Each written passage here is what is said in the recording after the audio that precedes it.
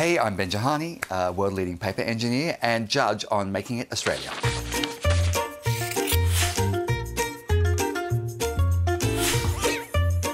How do I describe my job is probably anything and everything out of paper. So, you know, I'm a paper engineer and I guess I focus on things like pop-up books, packaging, sculpture, installation, illustrations, set design, anything and everything to do with paper. And there's nothing too big or too small we haven't tried or want to do.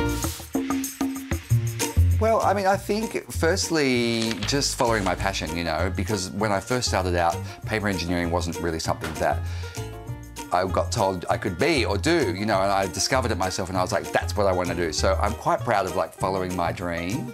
Um, as far as making things, I mean, I've made quite a few pop-up books now and they're very challenging objects to kind of conceive and actually realize. So they're probably some of my um, most proud moments. I'm a graphic designer by trade, but we had a class in paper construction, it was called. It was very rudimentary, very simple paper techniques. And I just got really excited about the idea of making things as part of the graphic design kind of arena because at that time, graphic design was very much about digital websites, flash, all that kind of stuff. So, yeah, just the idea of, you know, having something tangible um, as part of design was, I think, something that at that time hadn't really been explored as well as it has now. And so that's really got what got me excited, the idea of playing and being creative with my hands, you know, and, and just making real objects. I love that about what I do. It's real, you know?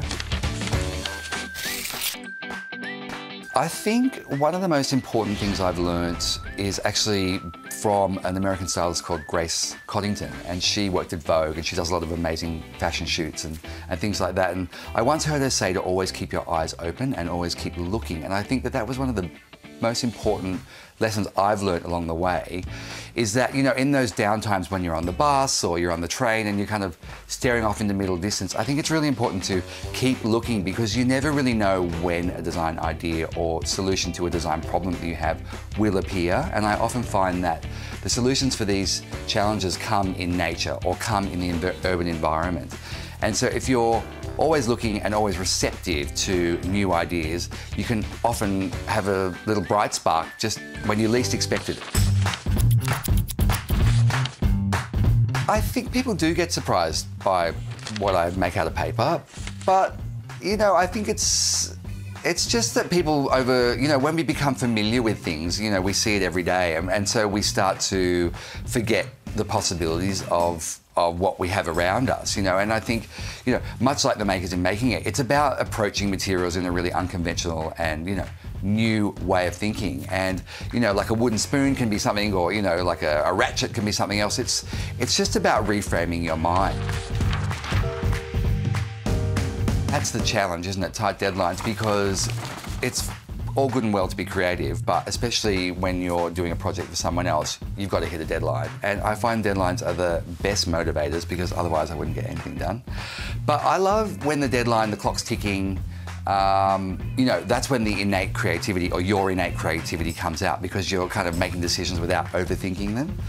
But often as well, you can get wrapped, wrapped up in the idea of time. And if you've really hit a problem or a snag in your project, even with a deadline ticking, sometimes it's best just to walk away, you know, and if it's like overnight or if it's, um, you know, even lunch or whatever, just a bit of space from a challenging moment can give you all that kind of perspective that you need to kind of find the solution for the, for the next step on the project.